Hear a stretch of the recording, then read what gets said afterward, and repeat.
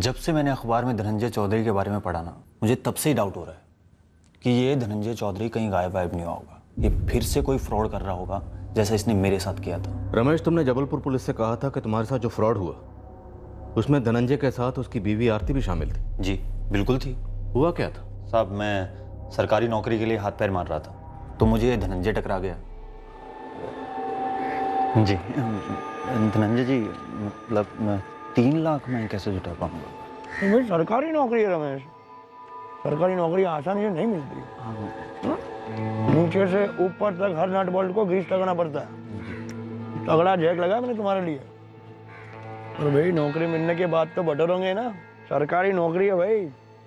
सोने की खान है। नहीं धनंजय भाई मैं क्या कह रहा था कि फिर भी तीन लाख बहुत ज़्यादा है। मैं कह रहा कुछ कुछ थोड़ा बहुत कम नहीं हो सकता। अबे सबसे मिनिमम पैकेज ऑफ़र कर रहा हूँ। सोच लो। नहीं दे सकते हो तो ठीक है। ज़िंदगी में कभी नहीं मिलेगी सरकारी नौकरी। माफ़ करना धनंजय भाई मुझसे ना हो पाएगा। साहब एक बात तो मुझे मालूम ही नहीं थी कि जितनी सरकारी नौकरी पाने की तलब मुझको थी उससे दुगनी तलब तो धनंजय को मुझसे पैसा इटने की थी। आरती हाँ बताता हूँ साहब। धनंजय मुझे बोला कि तुम घर आ जाओ। जो भी बात करनी है हम आमने सामने बैठ कर कर लेते हैं। तो साहब मैं उसके घर चला गया। घर गया तो वहाँ धनंजय था ही नहीं सर। चाय लीजिए रमेश जी। हाँ जी। भाई कब तक आएँगे धनंजय जी?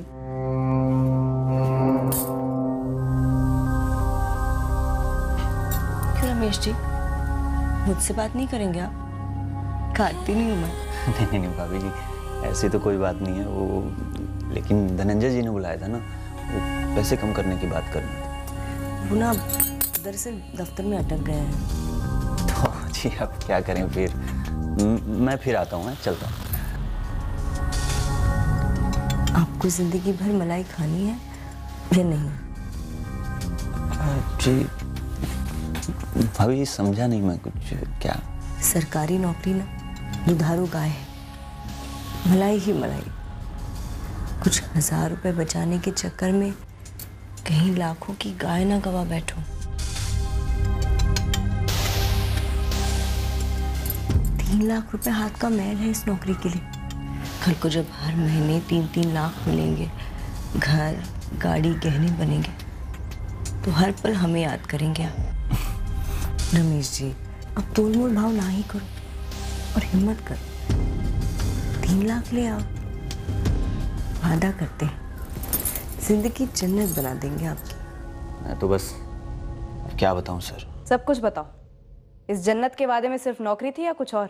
मालूम हो रहा है इस आरती की अदा पर लुढ़क ही गए थे तुम? नहीं नहीं नहीं मैडम मैं कमज़ोर ज़रूर पड़ गया था लेकिन मैंने ऐसा वैसा कुछ भी नहीं होने दिया साहब। हाँ उस चंट औरत की चिकनी चुपड़ी बातों में आकर धोखा खा गया। दे बैठा तीन लाख रुपए। रमेश सितोले की शिकायत दर्ज करने के बाद ही हमने धनंजय और उसकी पत्नी आरती चौधरी दोनों को गिरफ़्तार कर लिया था। अरे सर सर झूठ बोला ये रमेश सिसोले। मुझे उसने तीन लाख रुपए दिए तो कोई तो सबूत होगा उसके पास। ऐसे कैसे आपने मान ली उसकी बात सर? सर देखिए हम भी सरकारी नौकर है आपकी तरह। सर सर सुनिए। मैडम मैंने इस रमेश सितोले का नाम तक नहीं सुना है। आप प्लीज़ मुझे घर जाने दीजिए मेरे चार साल का बेटा अकेला है घर पे। सरकारी नौकरी का झांसा देकर तीन लाख रुपए लूटते वक्त तुझे अपने बच्चे का ख्याल नहीं आया? मैडम वो झूठ बोल रहा है। लेकिन मेरा रवि सच में घर पे अकेला है। प्लीज़ मुझे जाने दीजिए। रवि घर पर नहीं है। हमने उसे तेरे देवर भूपेन और उसकी पत्नी के हवाले कर दिया। मैडम मैडम रुकिए। लेकिन रमेश सितोरा ने धनंजय और उसकी पत्नी आरती चौधरी को पैसे दिए थे। इस बात का हमारे पास कोई सबूत नहीं था।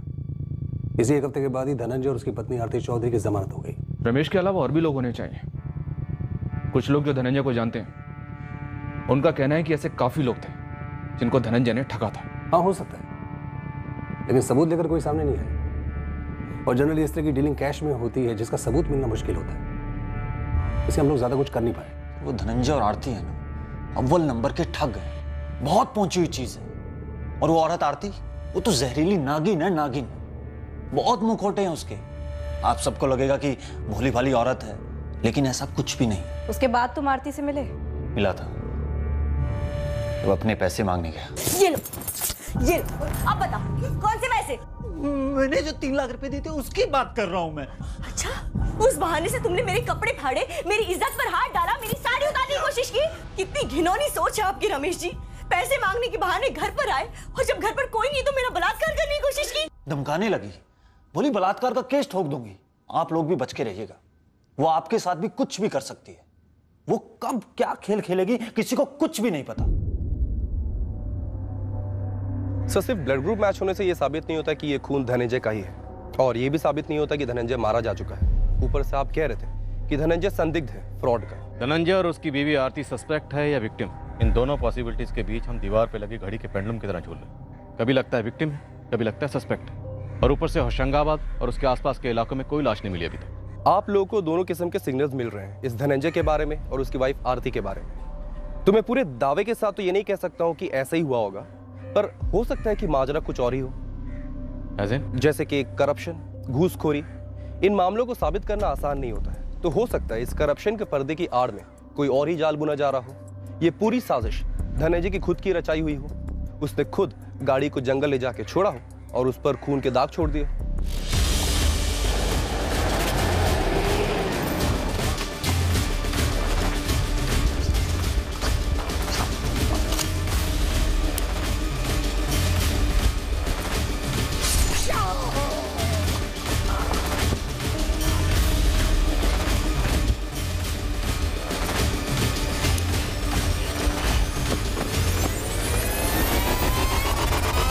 नामुमकिन तो नहीं है।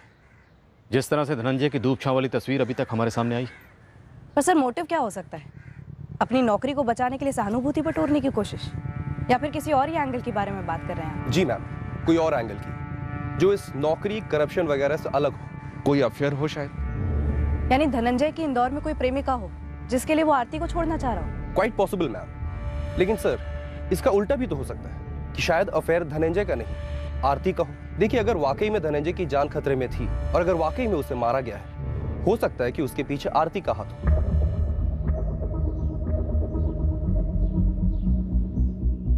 एक तरफ़ जमीनी स्तर पर धनंजय की लाश की खोज चल रही थी और वाकई में लाश थी भी या नहीं, ये तो आने वाला वक्त ही बताने वाला था। खोजी स्तर पर इस साजिश की हर मुमकिन संभावना को टटोला जा रहा था। हालाँकि साजिश क्या थी, ये अभी साफ़ नहीं था।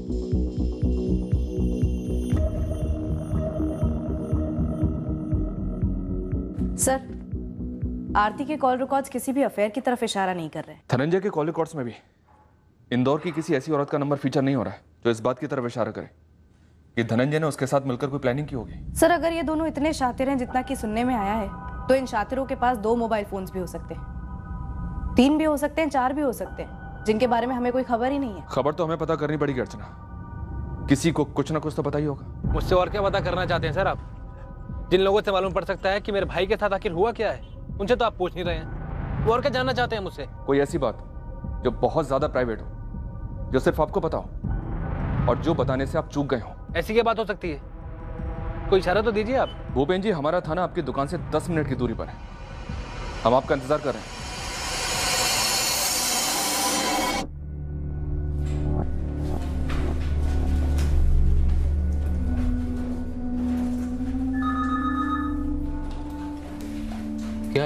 मुझे वॉलेंट्री रिटायरमेंट लेनी है मुकेश जी।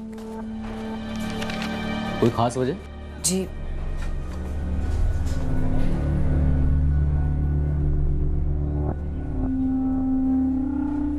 लेकिन शारदा वो खास वजह तुमने इसमें लिखी नहीं। वो प्राइवेट है। मैं बस इस दफ्तर में अब और काम नहीं करना चाहती हूँ। ठीक है शारदा मैं तुम्हारा ये अचानक से आया अजीब सा इस्तीफा रज़ी सर को दे दूँगा जो भोपाल गए हैं अभी।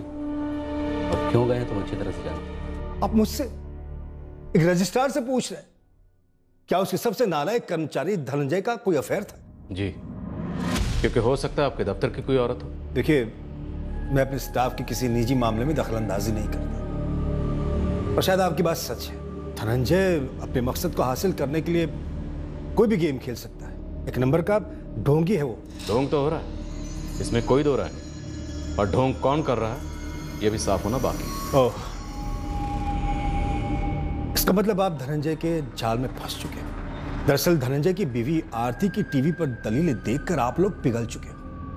ये मीडिया जो भौंक रही है, इससे आप लोग कतरा रहे हो। पर भावनाओं को कुछ देर के लिए बाजू पे रखिए। ऊपरी दिखावे को छोड़कर थोड़ा गहराई में झांकिए लॉजिक देखिए, लॉजिक। तब शायद आपको समझ में आएगा कि सारे तमाशे के पीछे धनंजय ही है। हो सकता है कि उसकी बीवी आरती भी इसमें शामिल हो। मुमकिन है। पर यह भी तो मुमकिन है कि कोई इस जोड़े को काले रंग में रंग कर हमारी आँखों में धूल झोंकने की कोशिश कर रहा धूल झोंक रहा मतलब मैं राइट ऑफिसर एक सबूत ले आइए जो साबित करता हो कि मैं करप्ट हूँ और मैंने धनंजय को गायब करवाया है। हम दोनों सरकारी मुलाजिम हैं। हम जानते हैं कि ये सिस्टम कैसे काम करता है। और अब तो दौर ऐसा आया है कि अक्सर जो आदमी चीख चीख कर अपनी बात सामने रखता है उसी को सुना जाता है। फिर चाहे वो भ्रष्ट क्यों ना हो।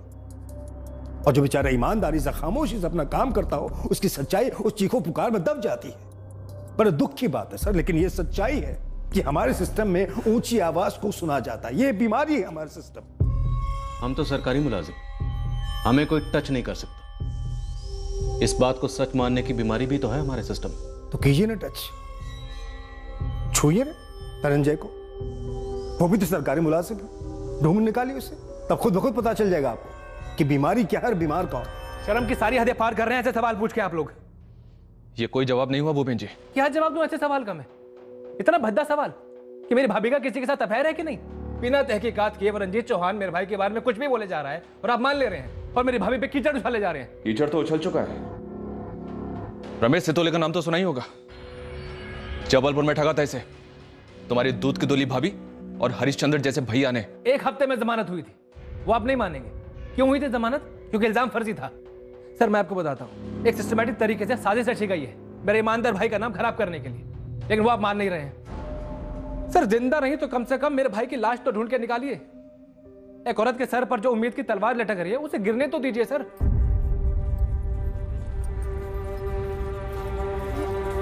मैं पुलिस से ये कहने आई हूँ कि जो भी पूछना है मुझसे मेरे मुँह पर पूछे।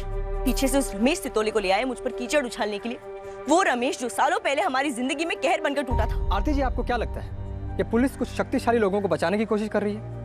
आपको क्या लगता है कि आपके पति धनंजय चौधरी को भ्रष्टाचार के चौखट पर बलि का बकरा बनाया जा रहा है? और क्या हो सकता है? आप मीडिया वाले सब जानते हैं। फ़ाइल पर फ़ाइल खुल रही है नई फाइलें बन रही हैं। सिर्फ़ एक मकसद से ताकि मुझे और मेरे पति को बदनाम किया जाए। और अब तो ये लोग मेरे चरित्र पर भी काली पोत रहे हैं। क्या इंसानियत मर गई है? ये लोग समझते भी है कि मेरा ग्यारह साल का बेटा है, जिसने उस दिन से अपनी पापा की आवाज़ तक नहीं सुनी। पैसे लूटे ना हमने लोगों के? तो कहाँ है वो लोग? हो तो बताइए। और वो पैसे कहाँ हैं? बैंक में है, ज़मीन में है, जेवर में है, कहाँ है? और ये जो ब्लाउज फाड़कर मर्दों को डराने और पल्लू गिराकर मर्दों को लुभाने का घटिया इल्ज़ाम लगा रहे ना आप मुझ पर? अगर मुझे ऐसा करके कुछ भी हासिल करना होता ना तो उस दो टके के आदमी पर क्यों आजमाती? सीधे उस बड़े आदमी रंजीत चौहान को अपने वश में करती, उस पर बलात्कार का इल्ज़ाम लगाती। या फिर मीडिया में चिल्ला चिल्ला कर कहती कि उस रंजीत चौहान ने मुझे अपने साथ सोने को कहा? मैंने मना कर दिया तो सारी भड़ास मेरे पति पर निकाल दी। जैसे भी होता, मेरे पति का पीछा छूट जाता उस रंजीत से। लेकिन मैंने सब कुछ भी किया? नहीं किया। समझे आप? सर। सर, होशंगाबाद पुलिस को नर्मदा में एक डेड बॉडी मिली है। आज सुबह ही मिली सर। तैरते तैरते किनारे पर आ गए।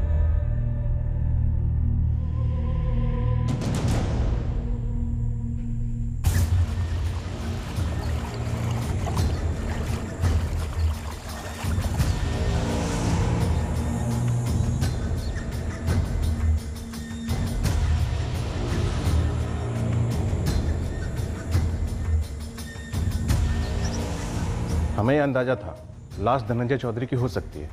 कई दिनों से हमारी टीम जंगलों में सर्च कर रही थी उसे। लाश धनंजय की ही है सागर? धनंजय की हो सकती है सुभाष। ब्लड ग्रुप मैच कर रहा है। और एक डिटेल है जो बवाल खड़ा कर सकती है। क्या? पोस्टमार्टम रिपोर्ट के मुताबिक मौत चार दिन पहले हुई। यानी 24 नवंबर या 25 नवंबर को। धनंजय 17 नवंबर को गायब हुआ। यानी अगवा करने के बाद एक हफ़्ते तक उसे ज़िंदा रखा गया था। और मौत कैसे हुई? बॉडी की सारी हड्डियाँ तोड़ दी गई हैं सुभाष। बहुत ही भयंकर मौत हुई होगी शायद तड़पा तड़पा कर इस वक्त बॉडी होशंगाबाद सिविल हॉस्पिटल में।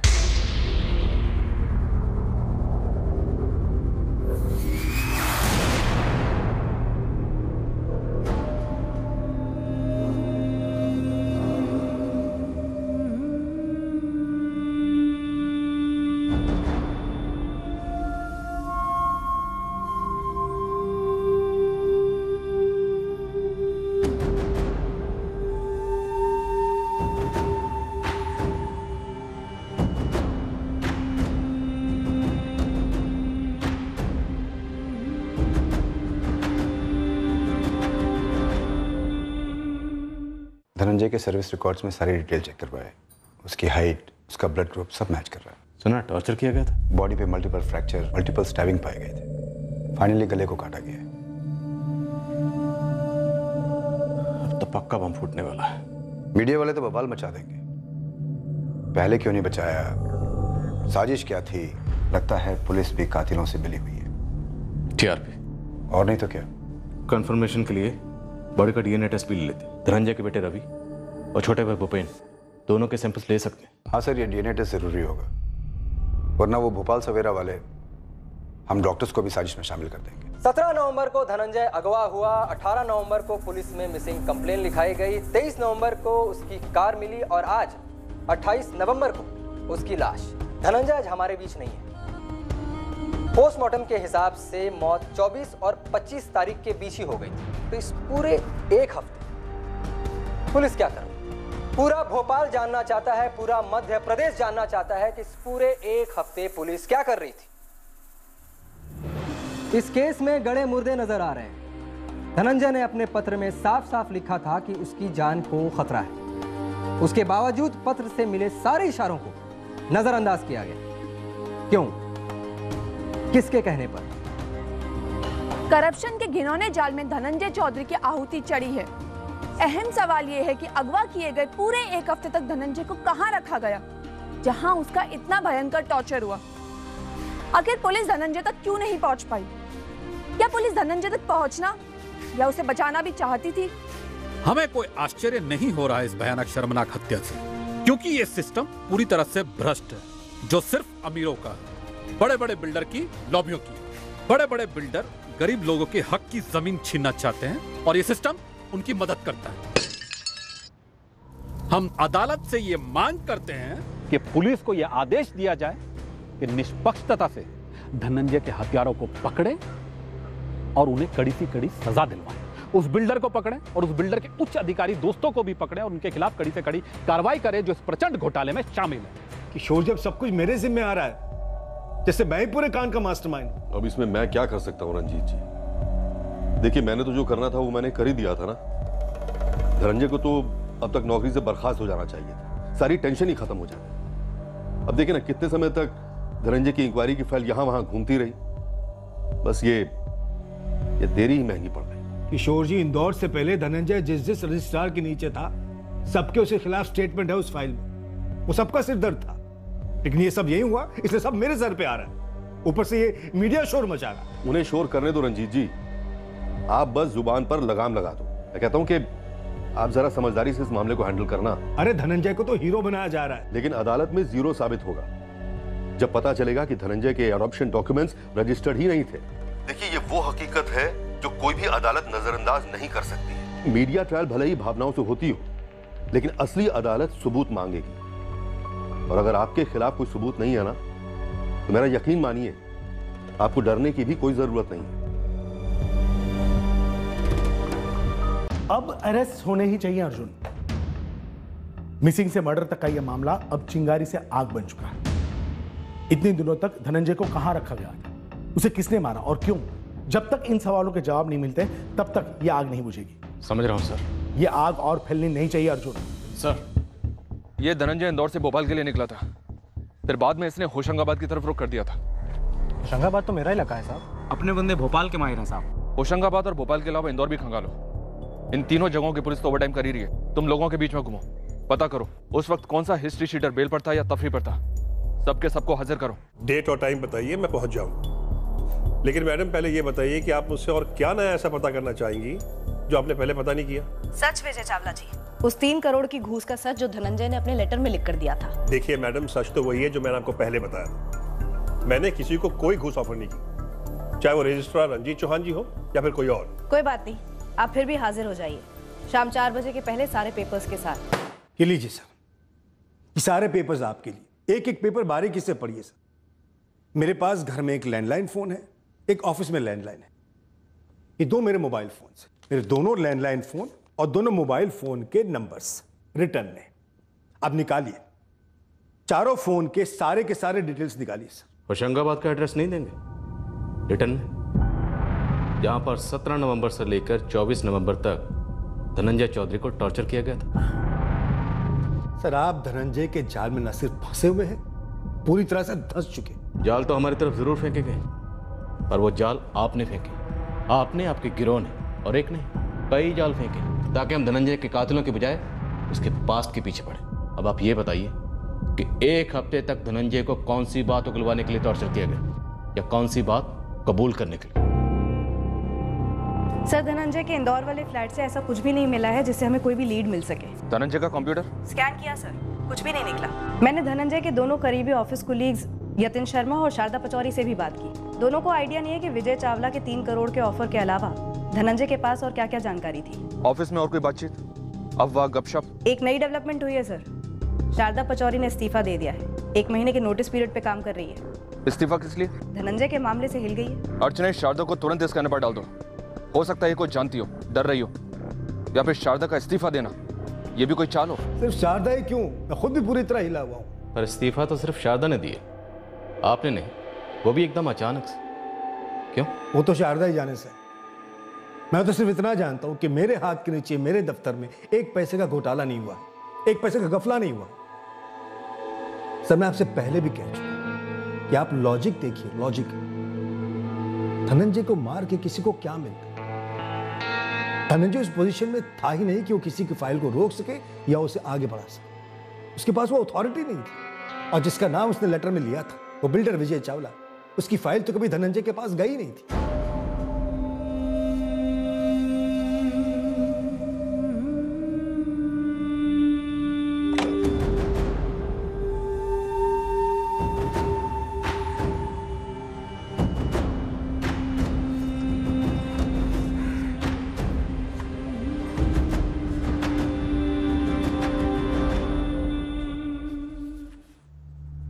आपने बुलाया सर? हाँ मुकेश। ये एक लेटर की दो कॉपीज है। एक रजिस्टर्ड पोस्ट करनी है और दूसरी हैंड डिलीवर करनी है। भोपाल। आरती चौधरी की है। जी। तो आरती चौधरी ज्वाइन कर रही हैं? मैं उसे जॉब ऑफ़र करना पड़ेगा मुकेश। और कोई विकल्प नहीं हमारे पास। उसके मृत पति की जगह उसे नौकरी मिल सकती भाभी जॉब अगर भोपाल में होता तो एक बार ज्वाइन करने की सोच भी सकते थे। मैंने सोच लिया भूमि मैं इंदौर जाऊँगी। मतलब भाभी इंदौर वहाँ हमारा कोई भी नहीं है। धनंजय की यादें हैं। आप चाहें तो रवि को हम संभाल लेंगे। आप जाएँ। नहीं भूपे रवि मेरे साथ जाएगा। इंदौर में भी बहुत अच्छे स्कूल्स हैं। मैं इंदौर के ऑफ़िस में फ़ोन करके बता दूँगी कि मैं दो हफ़्ते बाद ज्वाइन करने वाली हूँ। ज़ीरो लीड्स अभी तक तो ज़ीरो ही है। सर कुछ भी पता नहीं चल रहा है कि सात दिनों तक धनंजय को कहाँ छुपा कर रखा गया। सर शारदा की सर्वेलेंस की ज़ीरो हर ब्रांच ऑफ़िस में तहकीकात की ज़ीरो विजय चावला को खंगाला वहाँ भी ज़ीरो लीड्स मतलब बैक टू पवेलियन जहाँ थे वहीं।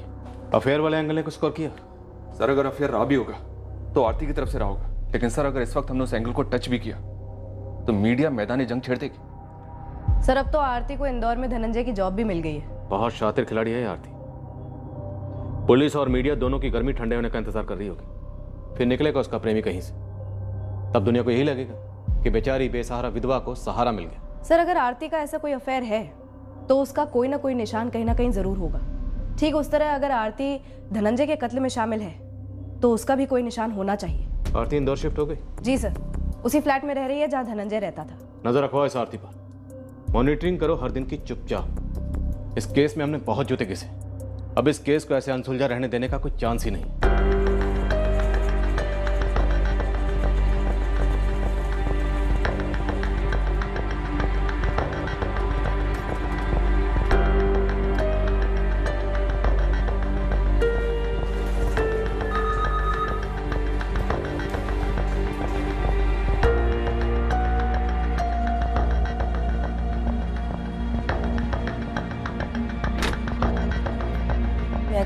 Please come.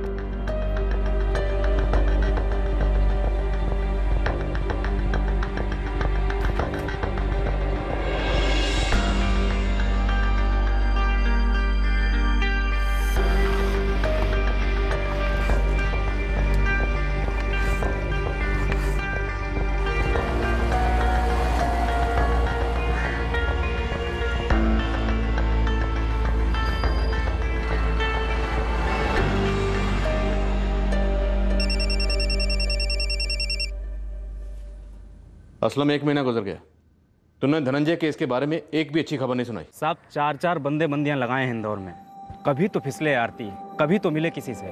पर मजाल है घर से दफ्तर दफ्तर से घर। दफ्तर के आस पड़ोस के लोगों से बात कर। धनंजय केस फ़ाइल अभी भी खुली है और खाली है। हमें इस केस फ़ाइल को जल्द से जल्द भरना और बंद करना है। साहब एक बात जहन में आई है। बतानी नहीं पूछनी है। क्या आरती और रजिस्ट्रार रंजीत चौहान के बीच कोई फ़ोन वोन हुआ है? कॉल रिकॉर्ड में कभी कुछ देखा है आपने? नहीं सर रंजीत और आरती के कॉल रिकॉर्ड्स में अगर ऐसा कोई कॉल होता तो हमारी नज़र में ज़रूर आता। पर ऐसा हो सकता है। हमारे सामने ये एंगल ही पहली बार आया नहीं असलम हमें तो रंजीत चौहान और आरती के बीच में कोई सांठगांठ दिखाई नहीं दी। तुम्हें ऐसा क्यों लगता? शक का क्या कारण? कारण तो है साहब। एक तो उस दफ्तर के एक बंदे से बात हुई थी। वो बोल रहा था कि ये रजिस्ट्रार रंजीत चौहान और आरती के बीच कोई मिठास नहीं है लेकिन कोई खटास भी नहीं है जो कि देखा जाए तो होनी चाहिए थी। कोई तो ड्रामा होना चाहिए था इन दोनों के बीच। पर इसमें तो शक करने वाली ऐसी कोई बात नहीं। आगे तो सुनिए साहब। चार दिन पहले मैं खुद आरती के घर के बाहर नज़र रखे हुए था। तो देखता हूँ कि एक गाड़ी आरती को घर तक छोड़ने आई हुई है। फिर देखता हूँ तो कौन नज़र आता है? रंजीत चौहान?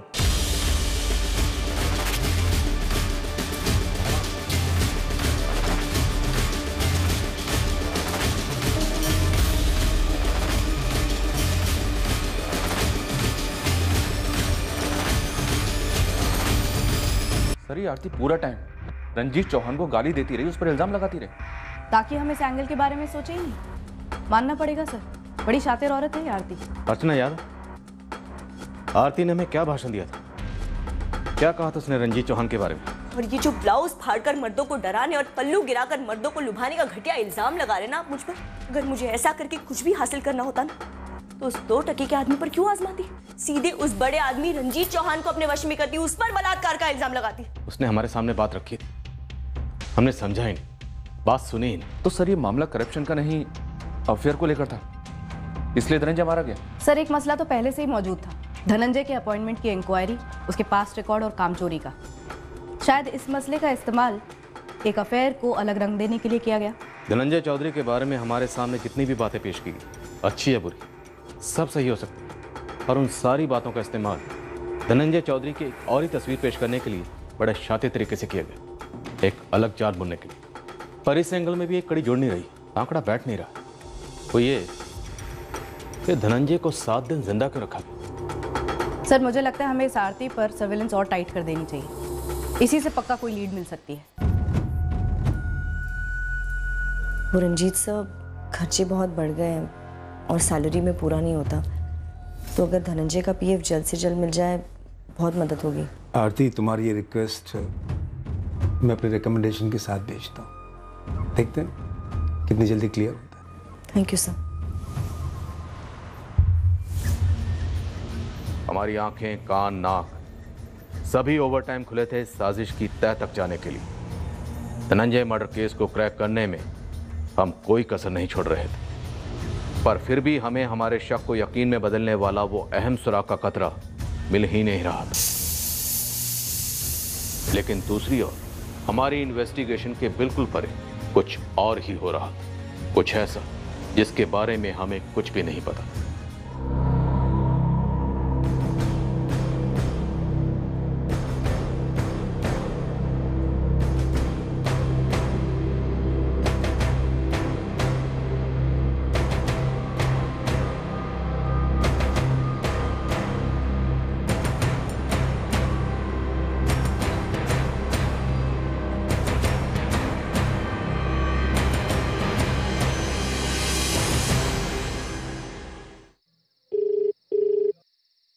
कब?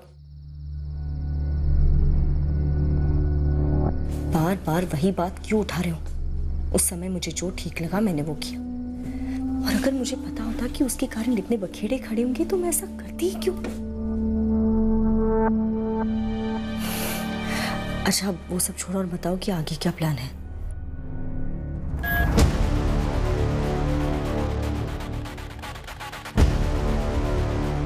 जिस दूसरे आदमी को हम ढूंढ रहे थे आरती की ज़िंदगी में, वो हमारी परिकल्पना से बिल्कुल बाहर का था।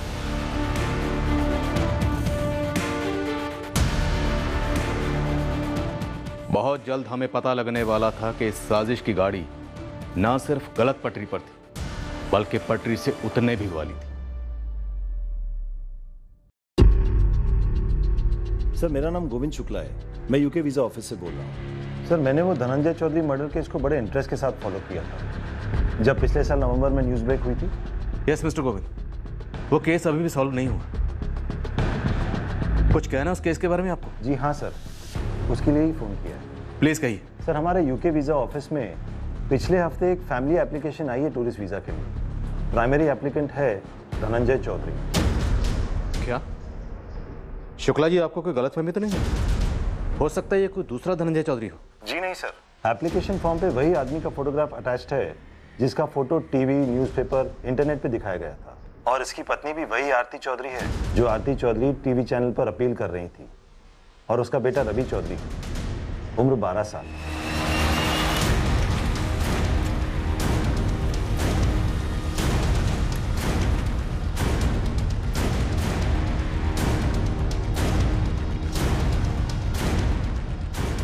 तो इसमें कोई डाउट ही नहीं सर ये धनंजय चौधरी ज़िंदा है।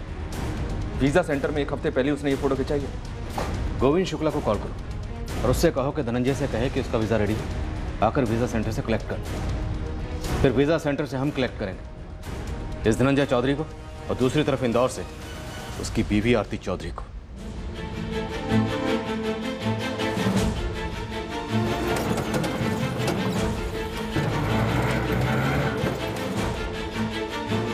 हाँ साहब, बच्चों को स्कूल बस में बिठाकर आरती दफ्तर के लिए निकली है।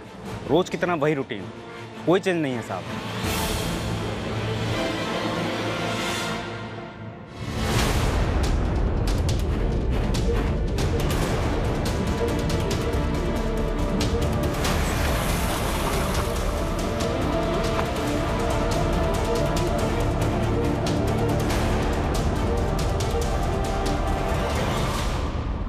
हम अगर तुझे गोली मार दें तो भी कोई फ़र्क नहीं पड़ेगा। क्योंकि ओनिकोट तो पहले मर चुका है। अंतिम संस्कार भी हो चुका है तेरा। क्यों? धनंजय चौधरी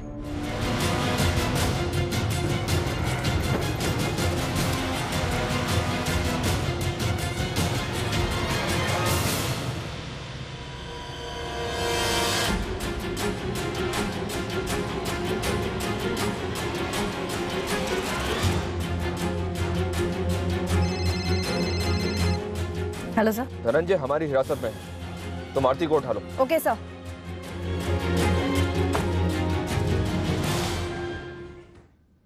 हमें जो भी कहानी सुनानी है ना जल्दी सोच ले क्योंकि बहुत ज़्यादा टाइम नहीं है तेरे पास। थोड़ी देर में तेरी बीवी आरती भी हाजिर की जाएगी। आरती ऑफ़िस में नहीं है? पर अभी अभी तो तुमने कहा था कि तुमने आरती को ऑफ़िस के अंदर जाते हुए देखा था। सर आरती गई तो ऑफ़िस के अंदर ही थी। पर लगता है वहीं से कहीं चुपके से निकल गई। पूरी बिल्डिंग छानमारी कहीं नहीं मिल रही है सर। लेकिन आरती को पता कैसे चला कि हम लोग उसके पीछे हैं? सर पता नहीं। ऑफ़िस के स्टाफ वाले भी यही कह रहे हैं कि वो अंदर आई ही नहीं है। नहीं मैडम आरती तो यहाँ नहीं आई। आप चाहें तो रजिस्टर चेक कर सकती हैं। सीधे ऑटो से उतरकर वो दफ्तर में ही आई। है मैंने खुद देखा है। यस मैडम क्या माजरा है? धनंजय चौधरी ज़िंदा है। हमने उसे भोपाल में धरा है। आरती को मैंने खुद दफ्तर में आते हुए देखा पर अब वो यहाँ कहीं नहीं है। धनंजय ज़िंदा है? मारा गया वो कौन था? मैडम वो एंट्री से अंदर आने के बाद पीछे से बाहर जाने का एक रास्ता है जो टॉयलेट तरफ़ जाता है। वहीं से बाहर जाने का एक दरवाज़ा भी है। सर लगता है उसने हम में से किसी को स्पॉट कर लिया।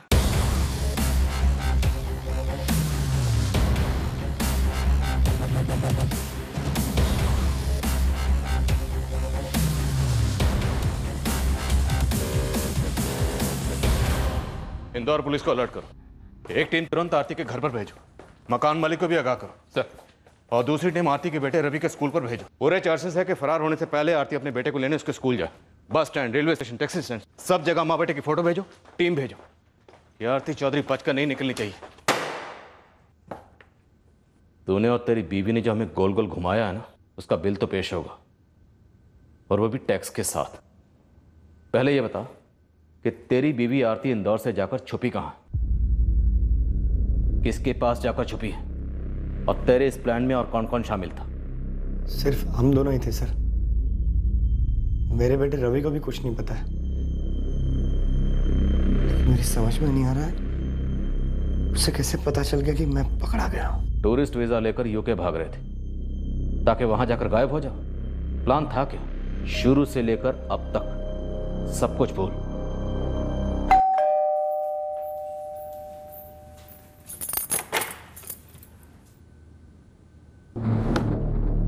सत्रह नवंबर को जब मैं तुम्हें हाईवे से फ़ोन करूँगा उसके बाद तुम मुझसे इसी नंबर से बात करोगी।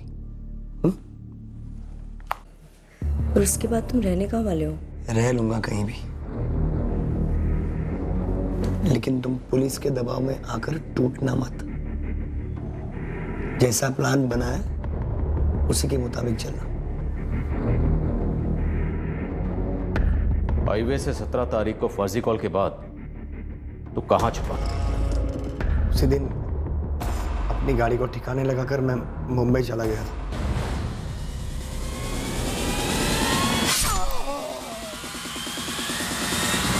तकदीर ने साथ दिया जो इतने दिनों तक आप लोग मेरी गाड़ी को ढूंढ नहीं पाए। और फिर 24 तारीख को लौटकर किसे मारकर नर्मदा में फेंक दिया? मैंने किसी को नहीं मारा सर।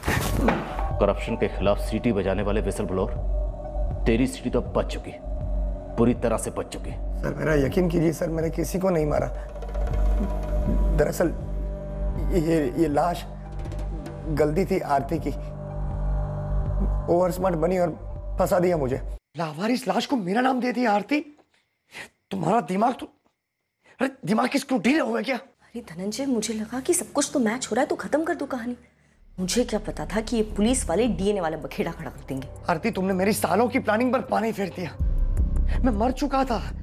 किसी को असलियत के बारे में पता नहीं चलता। लेकिन तुमने हमारा प्लान पकड़वाना आसान कर दिया पुलिस के लिए। शुक्र मनाओ, अब तक हम दोनों पकड़े नहीं गए। ये तो किस्मत अच्छी थी आरती, कि लाश के साथ मेरी हाइट और ब्लड ग्रुप मैच कर गया। वरना हमारा प्लानिंग तभी पकड़ा जाता। लेकिन अब ये डीएनए के बाद तो कोई चांस नहीं है। ये डीएनए टेस्ट हम दोनों को बहुत महँगा पड़ेगा। देखो धनंजय, जो मुझे सही लगा वो मैंने किया। अरे, पुलिस वाले मुझ पर शक करे थे। और तुम्हारी इंक्वायरी की फाइलें तो एक से एक तुम्हारे खिलाफ है। अब डीएनए रिपोर्ट्स के आने से पहले ही कुछ करना होगा। आरती का किसी लावारिस लाश को मेरी लाश बताना ये हमारे प्लान का हिस्सा था ही नहीं सर। आरती की बेवकूफ़ी की वजह से मुझे यूके भागने का प्लान बनाना पड़ा।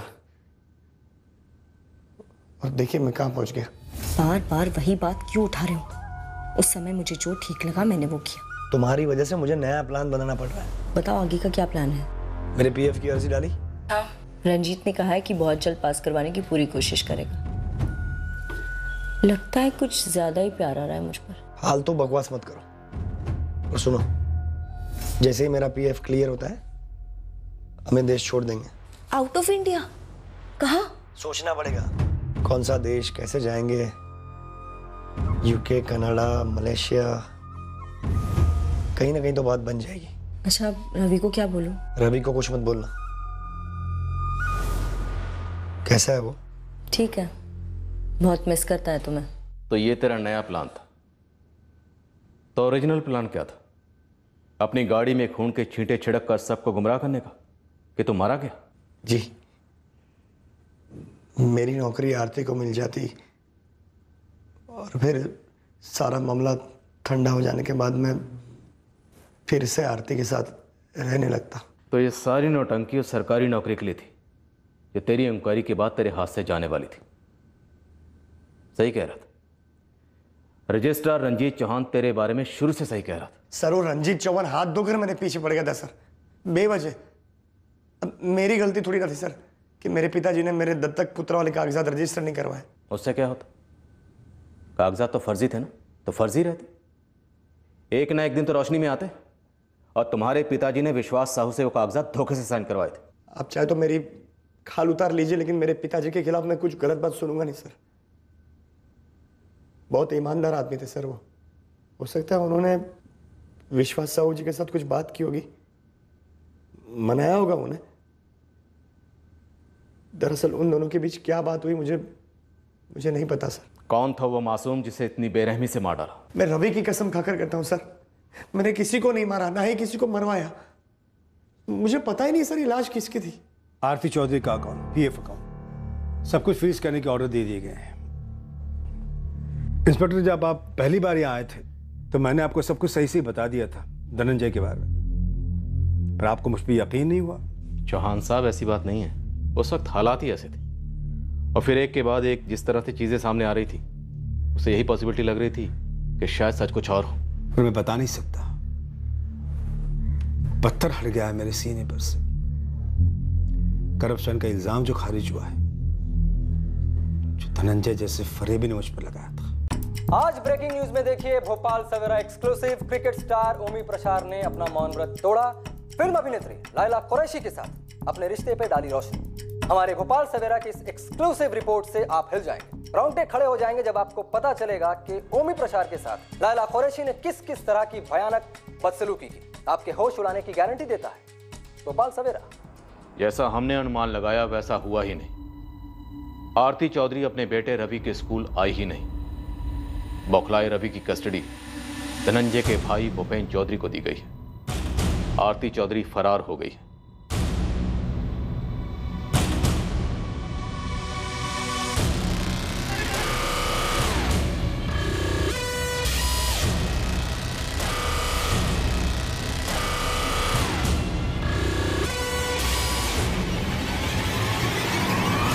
एक ज़बरदस्त मैन हंट लॉन्च होने के बावजूद आरती हमारे हाथ नहीं लगी। कानूनी तौर पर आरती को उस सरकारी नौकरी से बर्खास्त कर दिया गया है, जो उसे धनंजय की झूठी मौत के बाद दी गई थी।